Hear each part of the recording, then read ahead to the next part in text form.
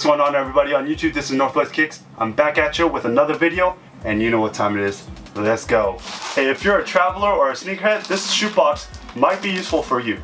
Let's get more into detail about these shoeboxes. So basically this is Daiso. It's a Japanese version of a dollar store.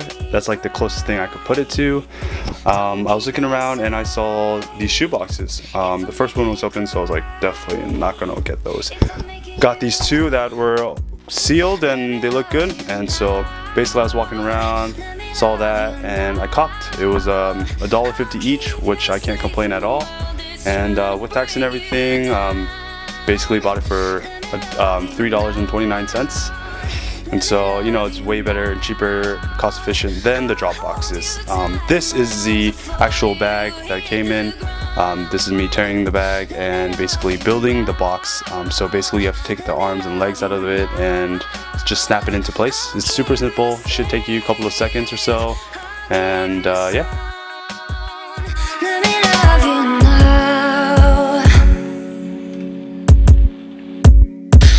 trying to see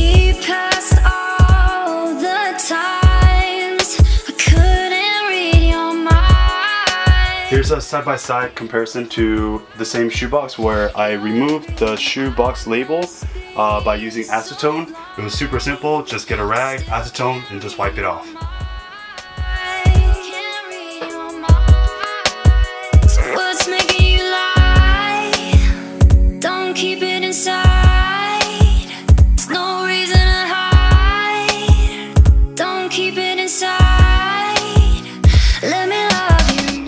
For the shoebox and comparing to the Dropbox, the shoebox alone is just uh, more cost efficient. I mean, if you don't want to spend 10, 12 bucks on a box, you can spend it on the shoebox and you know do the acetone to make it clear, take off all the graphics that it has on it, and it's more you know more friendly for everyone to purchase. And um, if you're traveling with the box, um, I definitely don't want that big, bigger box and you know harder, so I can't really mold it into my luggage or carry it onto the plane. But with the shoebox, I could definitely travel with it.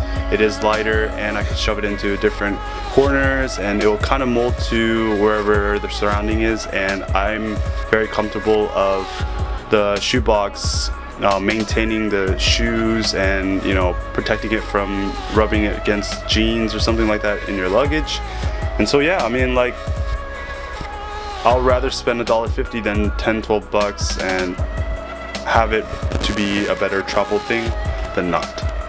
Hey, thank you for tuning in. Thank you for watching everybody. I hope you guys enjoyed the video. Let me know in the comments down below if you're gonna cop or drop. You know what time it is. Until next time, we out. Peace. Affordable and way more uh, convenient for your butt. Okay, the, the, what's going on? Hey, lady.